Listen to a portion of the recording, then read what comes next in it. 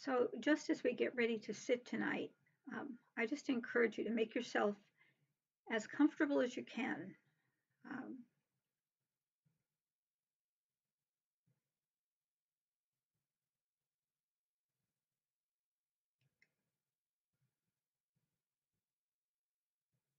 and it's always great if you have, you know, a cat or a dog who wants to join the meditation.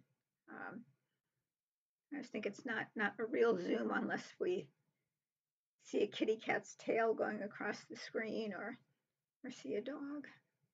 Um, when I get on Zoom, my dog goes and hides on the other side of the room so that it's as if she doesn't want anyone anyone to see her. So she's she's not here to make she won't make an appearance, but uh, kids and critters are always welcome in the Zoom room. So we'll begin tonight as we do when Shelley is here, um, sitting for 30 some minutes, and I'll do a little guiding in the beginning, but I just really encourage you to rely on your own wisdom in your own practice, that you are really the only person who knows um, who knows what your, I don't want to say your practice should be, but you know, you can find the groove for your practice.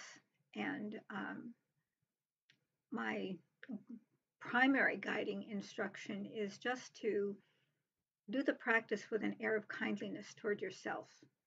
That make your practice, if nothing else, make the time we sit together a time when you are practicing kindness toward yourself.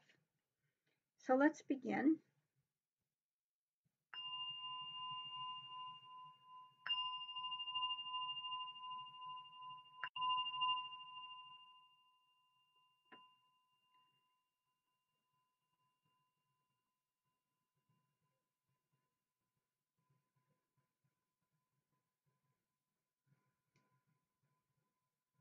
And take a moment to begin by just drawing the attention into the body.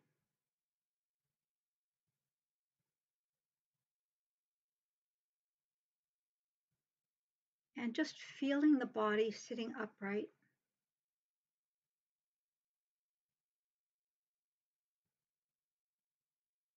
Feeling that sense of solidity of taking your place.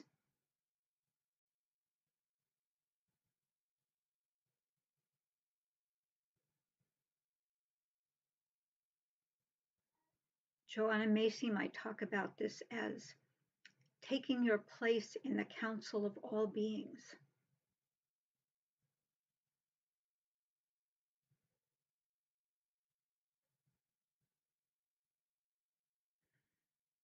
And you might take a few intentional, deeper breaths just to really connect with the body.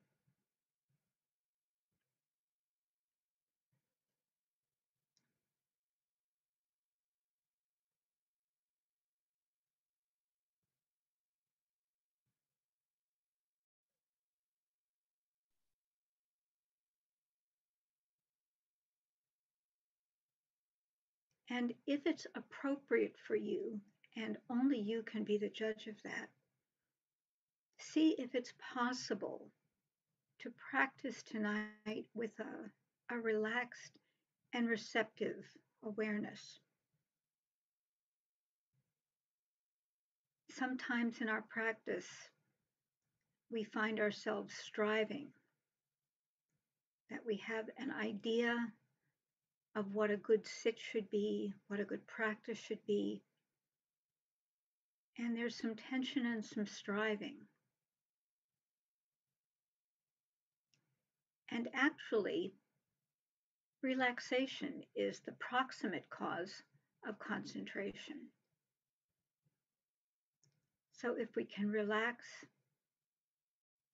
and just bring a real openness and receptivity It's as if we're allowing our awareness just to bloom.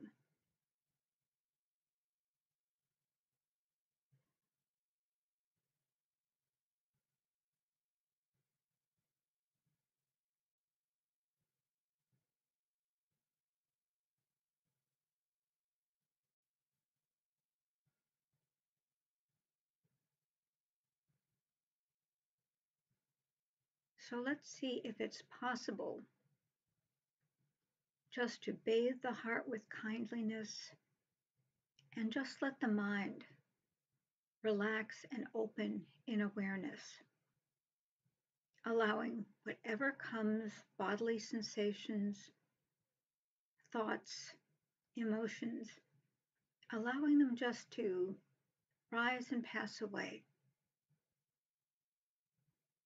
Just having this kindly open, open space for the present moment, for the present moment to manifest, however it is.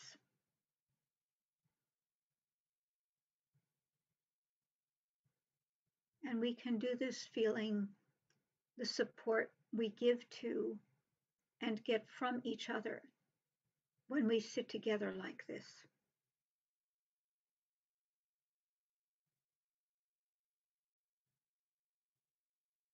Just letting that support your kindly open awareness. And we'll sit in silence for a while.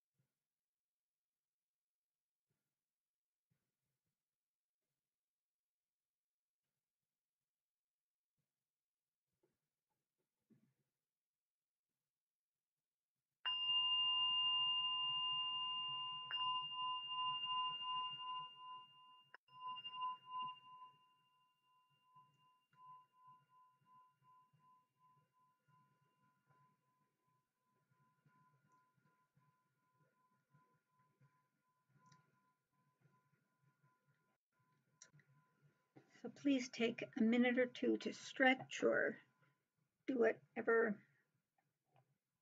your body's asking you to do right now.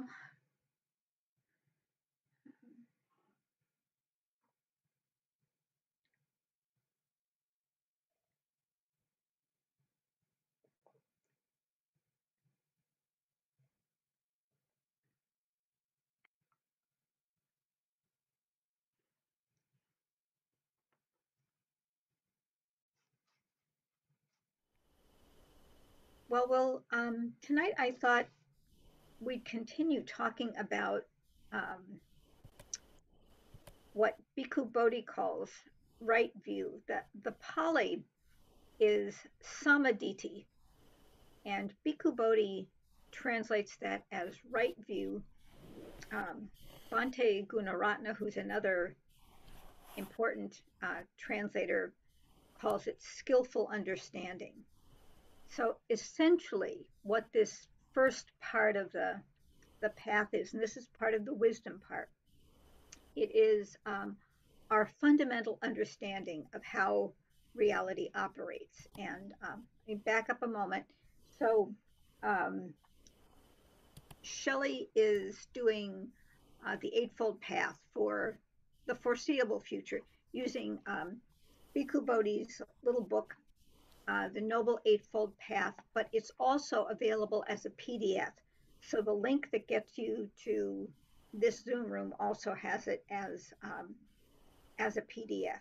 So we're we're kind of making our way through this. And right view or skillful understanding is basically our worldview. Understand like what are the basic principles of of reality and there are two components. Um, one is the causal nature of reality is part of our understanding what wise view is. And the second part is the Four Noble Truths.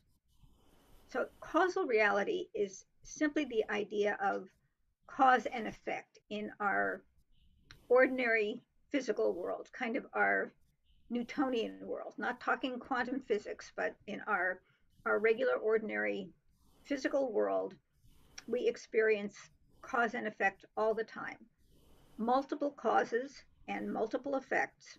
Um, for example, the Hurricane Ian that's in Florida right now, um, many contributing causes. It will have lots of different effects, but we can understand it didn't just happen there's no randomness in in the world as as we know it. Um, the pandemic was not, you know, um, COVID nineteen was not some sort of random uh, occurrence. That it was, you know, we are always finding that there are uh, emerging diseases. So, um, and we can understand eventually uh, where they're where they come from, the causes, and um, and the effect. So science is really all about looking for the causes of the presenting effects that we encounter. You know, how did this come to be? Whether we're looking at geology, biology, um, whether we're looking at um, you know, the way we operate in small groups, the, the question is always, okay, so we've got this phenomenon, and what caused it, what brought it about. So, very similarly, in the, the moral sphere, um, we investigate cause and effect all the time. And what we're interested in are the volitional acts of body, speech, and mind. And by volitional, that just means our intentional acts. That we have intentional acts of body, of speech, of mind. And that's what we're going to be concerned with. And we distinguish between what we would call wholesome and unwholesome acts. And unwholesome acts are going to be those that result in um, harm and suffering to ourselves and or others. Okay. And the wholesome acts result in benefiting ourselves and or others. And the Buddha talks about um, the bliss of blamelessness that um, the the state of of really understanding that you haven't caused harm, that your actions have been without without blame, this sort of bliss of blamelessness, which is a lovely phrase. But I, I when I think about this, I often think about um, a consideration that Aristotle raised. Aristotle used to say about used to say Aristotle said about about ethics that only an ethical person can really appreciate the ethical life that that acting in an ethical way acting in an intentional ethical way is for aristotle a human excellence but you have to experience it to really understand how um, how good it is to be able to act with virtue. And I think that that's sort of like the Buddha's bliss of blamelessness, that when we have experiences of having acted in an intentional way that benefited ourselves, that benefited others in a really wholesome way, that we have this um, this experience that is um, is blissful in a, a, way that that satisfaction of having acted um, morally, having acted ethically. And in many cases, it's having restrained ourselves from acting unethically or immorally. Um, and there's a, a teaching, a, a, sutta, where the Buddha talks to his young son Rahula, who was, various people say he was probably seven, he was probably 10, but he's a young a young monk and the buddha is talking to him about right right action. And he says to him rahula whenever you consider acting ask yourself is this going to harm me? Is this going to harm someone else? Will this harm me and someone else? And if the answer is is yes refrain from doing that act. And then he said, and as you're about to do the act, again, reflect is this going to harm me? Is this going to harm someone else? Is this going to harm me and someone else? And he said, and if upon consideration it's without these harmful consequences, do the act. And he says, and reflect afterwards when I did this? Did it harm me, someone else, both of us? And then the Buddha says, and if you thought that your act was not going to have harmful consequences, and it did, then you need to seek the counsel of the wise. So it's a very um, simple teaching in in a way about really paying attention to our intentional acts, our acts, uh, our speech acts, um, our, our, bodily acts, and often, you know, our own mental activity to see, uh, you know, what we choose, where we choose to place our attention. And this is why mindfulness becomes so essential in this reflection because we really kind of drill down and look at intention and consequences. And sometimes, you know, we we may have thought about something rather quickly and have done something, and the consequences are um, unanticipated. Um, and so we can think about intention and impact. And usually in Buddhism, there's so much focus just on on your intention, but as the Buddha said to Rahula, you know, if you think you're doing something and you don't think it's going to have harmful consequences, and it does, then you really need to seek the counsel of someone else because you apparently didn't take something into consideration that you should have. So I know a lot of us at Common Ground have, over the years, really been looking at, for example, the difference between our intention and our impact.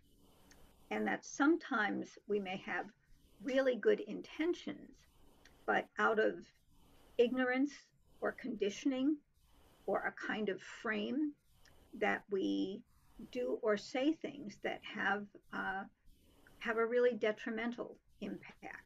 Um, so, um, you know, if we're acting out of um, sort of a white superiority, white um, white supremacy framework, which is often pretty invisible, thinking that um, you know what is white is is better or that that's the norm. We can often, um, those of us who are white, identify as white, um, you know, be guilty of all sorts of micro microaggressions. Um, not sure how, you know, why this was so offensive. A really good example is when we meet someone who, as a white, you know, white Euro American, um, meets someone who has, um, say, Asian features, and ask that person, "Oh, where do you come from?" Which is suggesting that that person is not an American. Now that we, we find that we have these that all these sorts of micro microaggressions.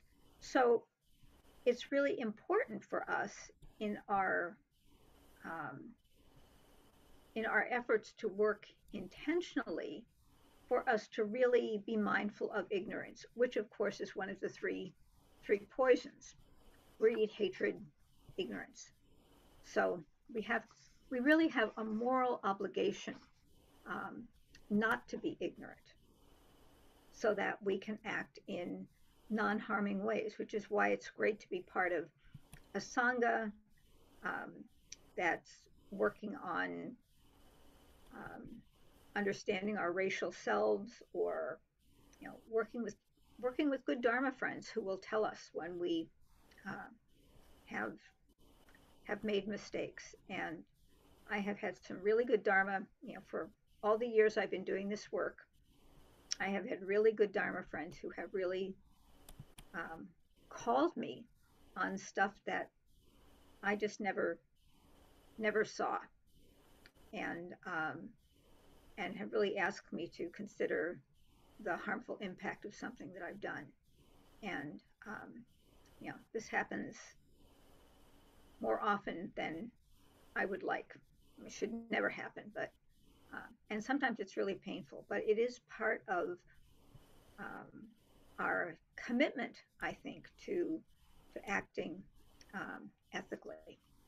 And what's so liberating about having this causal framework um, is that we can understand how things can come to be so that we can make different choices that we and others um, suffer less. You know, we can see our habitual patterns so often, um, how we um, how we respond to things, how we um, make choices um, out of our cultural conditioning, and we can choose to be, we can learn, and we can choose to be different. And I think this is really where, again, mindfulness comes in. And I will just say for me personally, um, one of the things that I have gotten, I've worked on a lot, is like renunciation with speech. That my, I often just feel that, you know, kind of impulse to make a remark, to criticize, you know, especially, um, as will not surprise most of you in more domestic situations, you know, your family, your partners, um, and and just really making you know deciding to practice this virtue of renunciation around speech. And I often I can watch, I can see that intention where I'm about to make this kind of sarcastic rejoinder or just defend myself or do something. And it's a you know an old pattern, and lots of us see these sorts of old old patterns that we maybe learned in our childhood, how our family of origin, how people kind of bickered with each other or confronted each other or whatever that early pattern was. And you know, now as adults, we can just sort of when we see that pattern emerging again, you know, we understand, oh, this is just my and, and at that point, because we're trying to be mindful, we really get to make a choice. We can feel that sort of impetus of all our past conditioning, all of our uh, our tendencies, the sort of influences we have, and the great one of the great values of a mindfulness practice is that we can uh, catch ourselves before we we say something. For a couple of, for a couple of decades now, I um, have been going pretty regularly, usually at least once a month, out to a, a men's maximum security uh, correctional facility and um, doing mindfulness out there with with offenders. And um, one of the things that we talk about, and I say, you know, the great the great benefit, the practical benefit of mindfulness is that you know because we look over and over again, you know, we just watch our minds slow down. We watch our minds in this sort of about to do something, um, and that we can um, catch ourselves. And in a correctional facility, you know, sometimes when a an officer um, is rude to an offender, you know, the the immediate response is you want to say something back. But you know, that only gets the offender in trouble. And so, you know, the men say that, you know, one of the things that mindfulness does is often that they just catch themselves before they're about to do something, um, before they're about to act out, to say something or to do something physically. And it's really this habit that we we develop of just paying attention to what's going on in the mind and sort of as we're processing, you know, like remembering the other times we've acted in this in this kind of way. So it's um, you know when when we think about this initial sort of understanding of, of the world about cause and effect, um, this idea that when we are familiar with cause and effect, we can choose to act differently so that we, our, our actions have different effects. And the other one, besides sort of um, renunciation for me, has really been just doing a lot of metta about really connecting with my intention to abandon ill will. And it's abandon ill will toward myself and others. And that that ends up being a really powerful um, support for um, for living in accordance with um, this um, this understanding of of cause and effect in our our moral actions. So that's kind of one part of, of right view is we really under, get that the world that that there's cause and effect in everything, including our volitional actions, actions of mind, speech, and body, and that it's really um, important to to be clear about when those actions are wholesome or unwholesome, and to um, and it's often that you know again that we we have the consequences of something and then we just go back and figure out okay what did i make a mistake about? Um, what did i not anticipate? What didn't i know? But it's it's a very practical um, very useful way of understanding um, the world. And the second part of, of right view or skillful understanding is this understanding of the Four Noble Truths, what's classically called the Four Noble Truths. And that the first one is that it's part of life to experience suffering, to experience dukkha. Now, um, Bhikkhu Bodhi and most people translate dukkha as suffering. Bhante Gunaratana translates um, dukkha as dissatisfaction. Um, Bhikkhu translates it as stress. I think Santikaro uh, translates it as that which is hard to bear. But essentially, it is sort of the whole variety of dissatisfaction, unhappiness, grief, woe. And as, as I understand it, and I uh, don't know Pali, but as I have been told, that dukkha etymologically comes from the idea that you have a wheel that is out of alignment with an axle, that the axle and, and the wheel don't really fit, so that the the wheel kind of clunk, clunk, clunks. It's um, it's not um, it's not in alignment with the axle, and that to me has been really, you know, it's sort of is ill-fitting. So we can think about um, dukkha as sort of ill-fitting with reality, or I think about it as being out of alignment with the way things are. It's very existential. Like we we suffer when we are out of alignment with how things are. Or another way of talking about that is to get back to the causal notion is how things have come to be. We're out of alignment with reality. And so because of that, um, we, uh, we suffer. And the second uh, truth in this is that dukkha has a cause. And again, in Pali, the cause is uh, tanha, which literally means thirst, but is usually translated as desire or craving. And it's that we desire sensual pleasure, we want um, pleasant circumstances, physical comfort, sensory entertainment, delightful sights, sounds, smells, um, textures, tastes um, you know, that, that we have this uh, insatiable desire for, um, for always to be physically very, very pleasant. Um, and um, we also have a, a desire for being, for becoming. We, we have ideas about what we want to identify with as roles, what we attach to.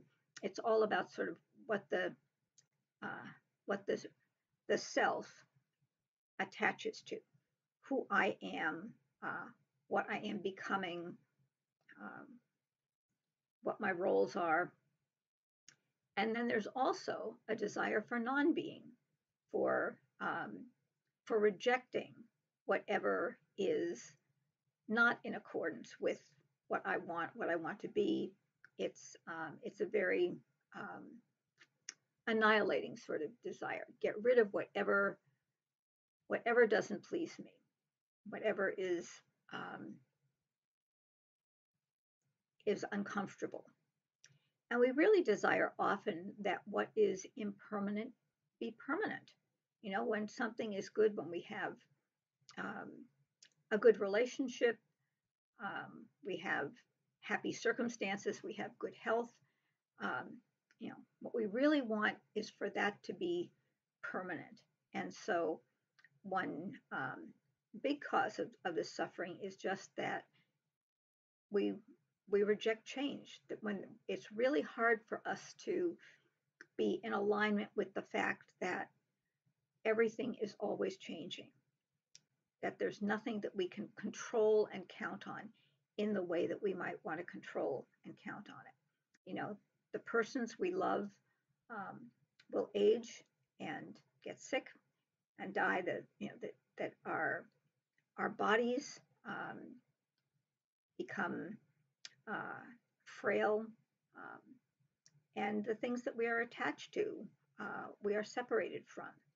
The Buddha talks about. He's got this great great way of talking. In one of the sutras, he he talks about that people are um, he says the ordinary run of the mill person is intoxicated with youth, intoxicated with vitality, intoxicated um, with good health. Not realizing that those are all uh, very temporary states. And so it's really hard for us often to um, to be in alignment with the reality of all that is is changing. And the third truth in this is that there can be a cessation of dukkha, that it can come to an end. And the cessation comes, the fourth one, by following the Eightfold Noble Path that we um, we develop in wisdom, we develop in morality, um, we develop in terms of our own ability to cultivate um, the mind. And sometimes people say that this this model of the eightfold path is, um, you know, that there's uh, disease, which is the dukkha. There's uh, the diagnosis, what has caused it, um, this kind of desire, craving, um, and then uh, you posit that there is a cure, and then the treatment, the way to get to the cure, is by the is the eightfold path. So it's sort of the Buddha as uh, as a doctor talking about what is um, what is uh, what ails us. But so much of our uh, dissatisfaction really comes out of how how hard it is to accept the way things are. And by accepting the way things are, it's not um, it's not endorsing them or or liking them especially but it is a very deep acknowledgement of, of, this is what has come to be this is what's happening. You know that there is always um, there is always change. Everything is impermanent. You know we don't control um, we don't control very much. I mean, we can control our own uh, intentions maybe as long as our minds are sound but you know even even that eventually is is beyond our control and that is really hard and that's um, so part of the training is to really see deeply into the nature of impermanence uh, the nature of suffering um, and the nature of of the self which turns out to be um, not anything that is you know substantial and and enduring. So this um, this framework of right view or skillful understanding is getting that this is the way it is. And as one works with other aspects of, of the path, it, it sort of deepens this initial understanding. So Sharon Salzberg sometimes talks about things as, you know, initially we have right faith, you know, that, that we um, we embrace something um, because we uh, know other people who have embraced it and this has worked for them. Um, so we're willing to take this on, try this on. Um, but eventually we get to the point where we have verified faith, where we know from our own experience that this is this is true. So this is this is why we we begin with the wisdom part, but it is um, because this worldview about things being caused and that our resistance to the way things are is a big part of our suffering really excuse me enables us to um, to go then the next part is going to be about um, sort of uh, right intention about intentions of renunciation and generosity and uh, non-harming and so as we go through the the path um, it really deepens our understanding of this initial uh, worldview of these initial um, frameworks. So it's not really a linear um, path, um, but it is, some people talk about it as a, a braid. Um, there's a, a sutta that I, I couldn't find, but there is a sutta where the Buddha talks about this and, and makes an analogy of a hen sitting on eggs and that the eggs kind of get, the hen kind of moves the eggs around underneath her to make sure that they all get the same amount of um, uh, warmth. So she's, so that the outer ones are brought in and the inner ones go out for a while. So the eight, the parts of the Eightfold Path are sort of like a hen and eggs that sometimes we're more intensely involved with some of them than, um, than with others. I also want to offer um, a different reframing of the uh, of the Four Noble Truths that I have found helpful, but it is um, controversial, and um, traditional Theravadins like Bhikkhu Bodhi and uh, Bhikkhu Analayo um, are um, are very critical of this reframing, but it's one that I found useful, and it's um, it's Stephen Batchelor's reframing um, of what he calls um, the four, and he sees them as four tasks. And um, Batchelor is uh, Stephen Batchelor is uh, a Buddhist um, scholar and teacher. He practiced initially in the Tibetan tradition. He was a Tibetan monk when he was in his in his 20s and practiced um, for a number of years in the Tibetan tradition. And then he went to Korea and practiced as a Zen monk for uh, another number of years and then um, moved back to, he's originally from um, England and um, he teaches mostly at um, Bodhi College in England and he lives in uh, the south of, of France. And I just found him a very provocative and and helpful thinker. And I think it's probably because of my own background in philosophy that I resonate a lot with um, with him. And he sees the Buddha as someone who is an extremely skillful and very pragmatic teacher. He sees him essentially as a teacher of morality and, and a very skillful teacher of morality. And that in his understanding, the Buddha had very little time for metaphysics or anything that was not about really grappling with suffering. And, um, but for Batchelor, and this is where there is um, a difference between the Theravadan, strict Theravadan worldview and Batchelor, who talks about secular um, Buddhism. And by secular, he means the original Latin meaning, which is of this age. Um, and for Batchelor, the um, the goal is actually human flourishing. So we can see it in the traditional Theravadan. It's the you know the absence of suffering and eventually the um, end of the cycle of rebirth and uh, nibbana.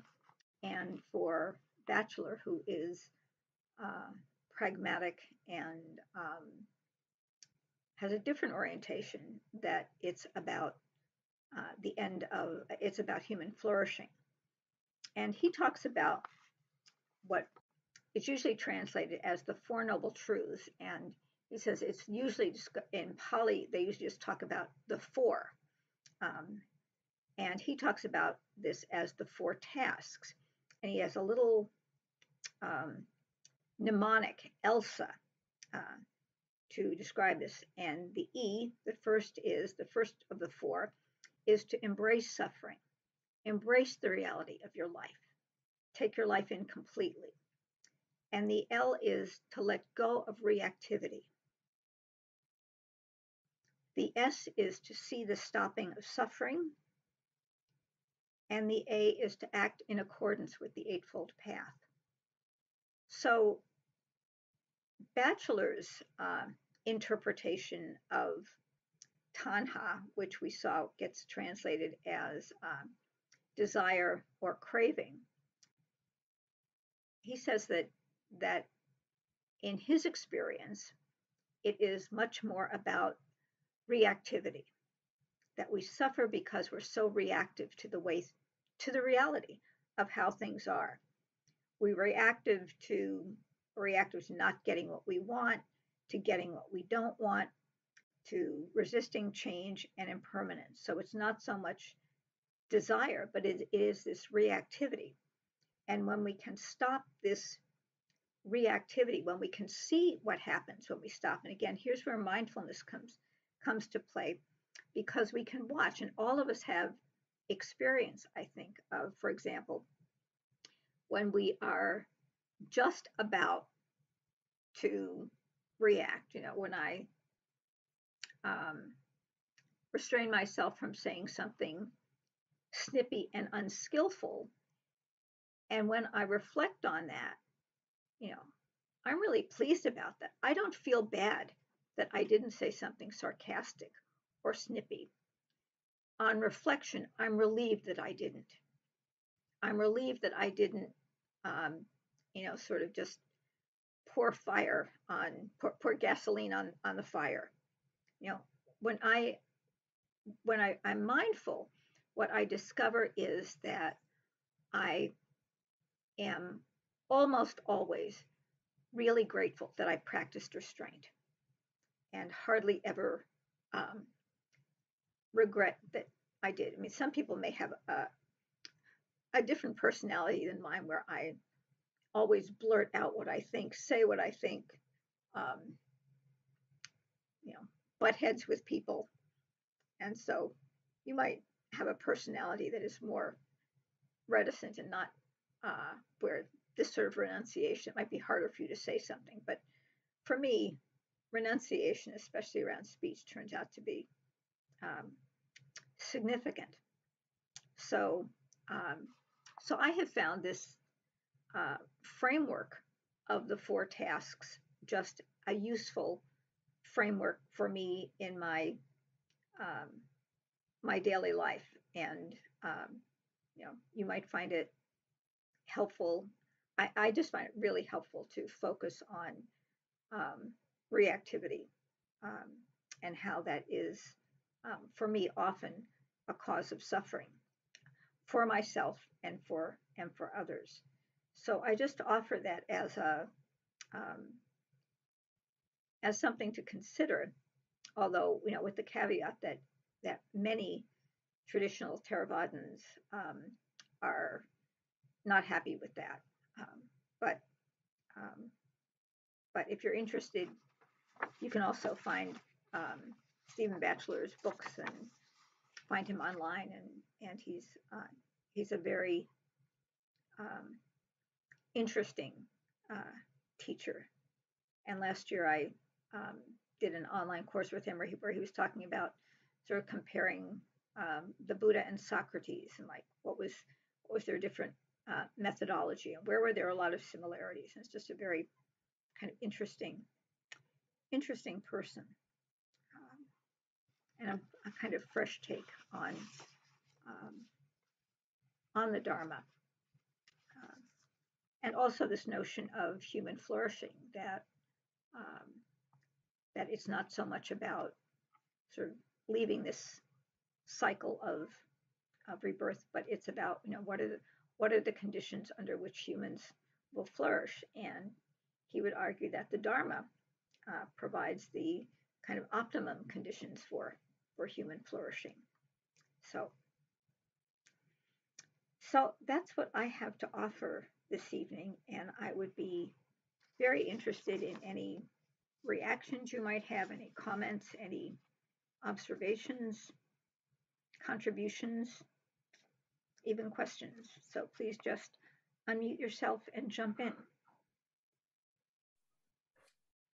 Patrice, uh, Chuck here. Mm-hmm. Could you repeat um, Stephen Batchelor's um, way that he presents the four sure. tasks? I've got the the first and the last one, but I missed. Um, Thank you for asking it, the, the acronym is ELSA, E L S A. And so the E is to embrace suffering, like embrace the whole reality of your life. The L is to let go of reactivity. And the S is to see the stopping of suffering. You know, bring your attention to that experience that what happens when you when you actually uh, let go of reactivity and the, the suffering stops and then the a is to act in accordance with the with the eightfold path. So it's really just a different different tweak. I think it's just a different tweak. Some people um, think it's a serious breach but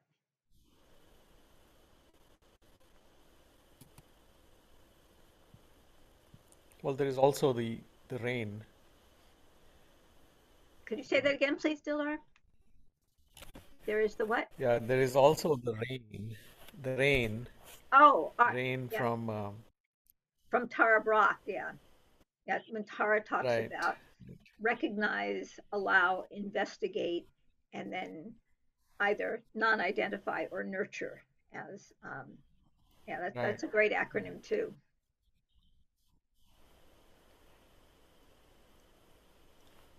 I And I think there is there is another. Yeah, Please go ahead. go on. No, go on, go on, Dilar. I was gonna say there is there is some um, conversation about trauma sensitive mindfulness. So so sometimes it's not necessarily okay. I mean there is there is that there is that clinging and but that clinging could be because of some kind of a trauma um, that sometimes um, may require maybe a little bit different approach maybe Thank you for bringing that up. Um, David Treleaven is, is the person probably who's done most about, he's got a book on um, trauma sensitive mindfulness and, and talks about the harm that has been done when people are really doing long retreats and are having some distress. And the teacher's response is, you know, you just need to sit more. And that, um, you know, that that's a really un, unskillful response when people are um, sort of re-experiencing trauma. So, and and I've actually noticed this at the correctional facility. Um, sometimes um, when I'm just asking people to be mindful, doing a mindfulness meditation, and uh, you know, I remember one um, young man saying to me, you know, when I do that, all I have is flashbacks of getting shot. And so my response was, you know, maybe this is not the right meditation for you right now. You know, maybe something like centering prayer would be more helpful. Or, and this is true too with doing doing a body scan for people who have had a lot of physical trauma. You know, asking them to you know bring your attention to this body part that has been really traumatized is um, can be really harmful. This gets back also to our initial talk about intention and impact. So, you know, you have an intention to do good and to offer this um, this this meditation technique, this this kind of meditation. But for some people, it may be really, really harmful um, because of their previous experience and their fragility and, and other sorts of um, support would be um, would be more useful. And and he talks about how you know, teachers can be very insensitive to um, to trauma and telling people to just go sit when they're already feeling sort of alone and overwhelmed is um, is not not helpful and in fact it might be it might be harmful. So this then gets back to this idea about ignorance. The intention of the teacher is good but the teacher needs to know more about trauma to be um, an effective especially on retreat retreat uh, teacher. And i think more um, teachers who do retreats are now doing much more training in recognizing trauma and in dealing with um, with trauma and also you know meditation and mindfulness is not the only way to practice. That for um, for many people, um, their primary practice is going to be parami practice, like really working on on the virtues of living a virtuous um, a virtuous life, of practicing generosity and truthfulness, renunciation, um, metta, compassion, um, you know, uh, living lives of, of virtuous service. And so um, meditation is, is not the only way to, uh, to live the Dharma. Someone else was going to say something. Um, and um, David has put in the chat as a mental health professional, we're taught that meditation is contraindicated in active trauma. But I find that if someone has past PTSD or traumas, mindfulness can help with reactivity that is a symptom of past trauma, which was the other topic tonight. So it it really um, thank you so much for that, David. I mean, people really need to be informed and really pay attention um, when people are in distress. And um, David Treleaven's book on trauma-based mindfulness talks about sort of of titering when someone is able to sort of again as you're saying david have uh, sort the past ptsd and like recognizing that stuff is coming up but also recognizing that they're in a really safe place right now that they're getting a lot of support and so they're able to um, to uh, sort of be mindful of of the trauma in a way that it, it's distant enough that they're they're seeing it um, and being supported and realizing that they're in a different sort of, of um, environment right now. So mindfulness can be can be used, but you really have to be skillful um, with it and um, and be you know creative with people about what's going to be um, supportive. And you know, I think for for many people, myself included, often you know, metta practice is is a great refuge practice. That refuge in um, sort of the the goodness of one's intention to abandon ill will and care about the welfare of others. You know, that's a, a beautiful kind of of uh, wholesome refuge space in a meditation, and um, maybe what is um, you know most most supportive. So um, we should really be open to that. Anything else? We're almost to the end of our time together. Would anyone else like to say anything? Hi, Patrice. This is this is Robert uh, in South Minneapolis, and uh, thank you, thank you. It's really a great teaching. I'm so glad you talked about volition, uh, which is something that I'm getting more familiar with. I wish I would stop blaming other people's volition and look at my own. Uh, and then change. Change is the word. Uh, there's a beautiful song. I'll, I'll, say the words. It's by um, uh, Quincy Jones produced it, and it's everything must change, and nothing stays the same. The young become the old, and mysteries do unfold. And that's the way of time. Nothing and no one goes unchanged. And then there are not many things we can be sure of, uh, rain falls from the sky, uh, sun lights up the sky, uh, and hummingbirds do fly. And every time I hear the word change, I think of the words to that song. I've taken the time to memorize them because it's so beautiful. But thank you. Thanks, Robert. I, I can hear the tune now in my in my mind. So, okay, well let's uh, let's just dedicate the the merit, this wonderful act of imaginative generosity. And thank you all again for being here um, uh, tonight. I'm going to be out of town and away for a bit, so I will be missing our men Wednesday nights for the next couple of weeks, but look forward to being with you when I get back. So if there's any goodness to our practice, any benefit or blessing or merit, we would gladly, happily, joyfully share it with others. In fact, if we could, we would give it all away. We would give it to our parents, our teachers, our families, our friends, our communities. We would share any blessings with those we like and those we don't like so much. We would share any goodness with those we know and the millions upon millions of persons we have yet to know. And in addition to all the two leggeds, we would share any blessings with the four leggeds, the many leggeds, the winged, the scaly, the slimy, the finny. May all beings find a path to peace. May all beings be free from suffering.